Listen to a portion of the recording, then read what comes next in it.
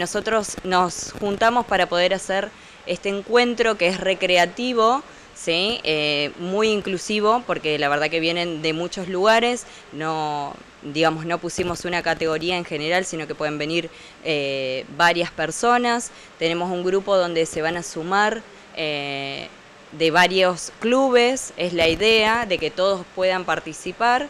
Eh, bueno, digamos, nuestro planteo es que la diferencia que vamos a trabajar eh, es a través de elementos, una posta americana que va a trabajarse durante 45 minutos con pasadas de 50 metros y lo van a hacer con elementos. En este caso nosotros elegimos los elementos pullboy, manoplas, tabla y eh, aletas. Esos elementos lo va a utilizar un participante eh, no puede haber cambio, así que deben elegirlos y poder trabajarlos eh, durante toda la competencia. Esa es la idea. ¿Cuántos participantes por, equipo?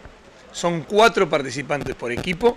Eh, como dijo Paola, no pueden cambiar de elemento. Lo que sí, si hay algún altercado o algún problema con uno de los participantes, puede pasar a, reposo, a recuperación, lo que sea, pero el elemento tiene que seguir participando.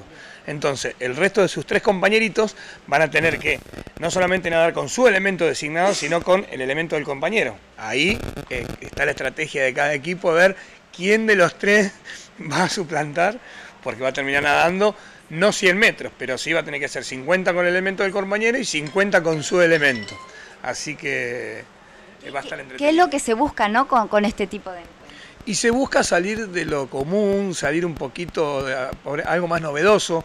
Las postas americanas, las tradicionales postas americanas son pasadas de 100, pasadas de 50, los primeros 15 minutos, los primeros 10 y así durante una hora. Entonces, eh, como está tan, tan en el auge el tema del funcional, funcional esto, funcional lo otro, allá, acá en la costanera, dijimos, bueno, qué, qué bueno sería utilizar los elementos propios de la natación, que los chicos y todos, los grandes, los chicos, los jóvenes, eh, lo padecen a veces y a veces lo disfrutan, el pulvo, la manopla, la tabla, la letita, que el snorkel, que pum, entonces bueno, llegó la hora de ver quién, cuál es tu fuerte.